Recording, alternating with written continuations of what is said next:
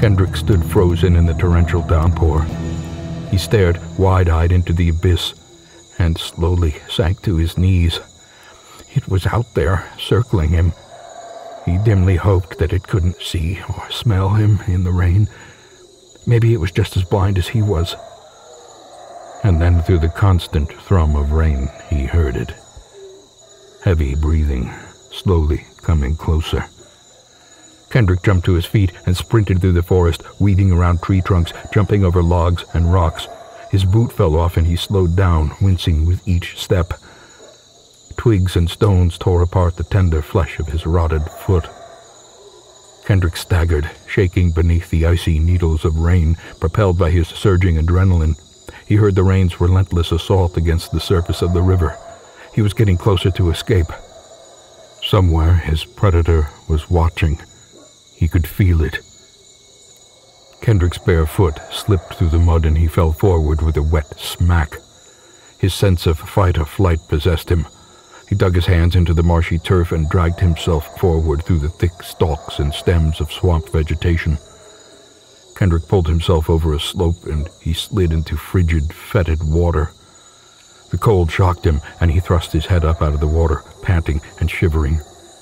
There was a flash of lightning, and he saw spider legged mangrove trees surrounding him. The jungle seemed empty, devoid of life. That meant it was nearby. Kendrick knew he couldn't run anymore. Each breath he took burned through his lungs. His body was numb from the cold, and his heart struggled to keep the thick blood pumping in his veins. It was time to hide.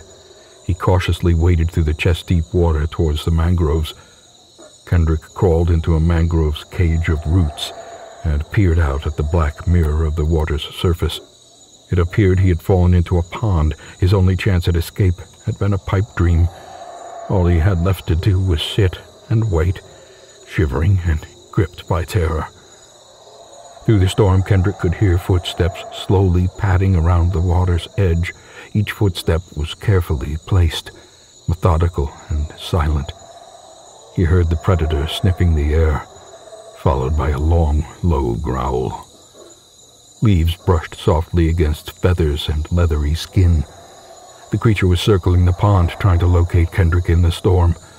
Kendrick carefully tucked himself further back into the mangrove's den and stared at the water's dappled surface.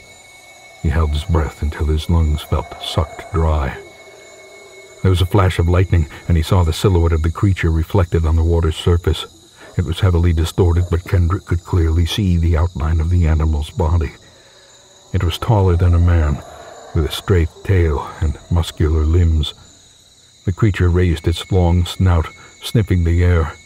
The hooked claws flicked in anticipation. The creature's jaws parted into a toothy, rumbling snarl. It was only ten feet away. Kendrick trembled uncontrollably. Tears were lost with the rain on his face. A pitiful cry crawled from his lips like a worm, and he clasped his hands over his mouth to keep quiet. Urine flowed freely between his legs.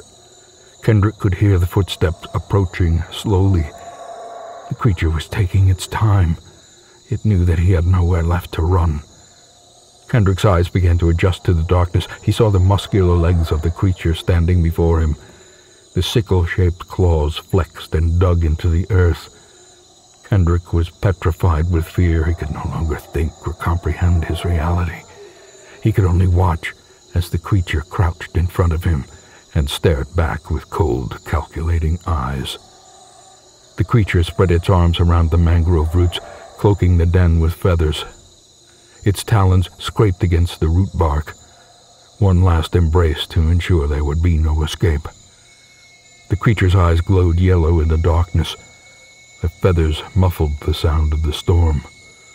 Kendrick could only hear his own whimpering and the slow, steady breathing of the animal.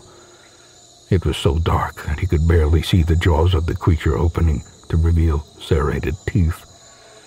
The animal's hot breath, rancid with decay, washed over him. Kendrick could feel a desperate plea catch in his throat. Please, the creature's head shot forward and it snatched Kendrick's throat in its jaws. The animal shook him violently from side to side, ripping the flesh of his neck like tissue. Hot blood ran down Kendrick's torso, and the creature let go of him.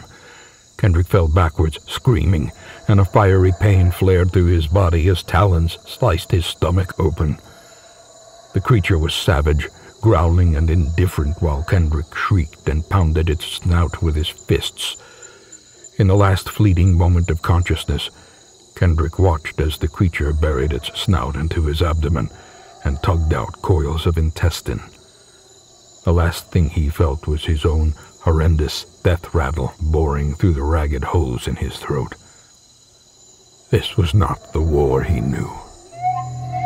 Primitive War by Ethan Pettus. Read by Wayne June.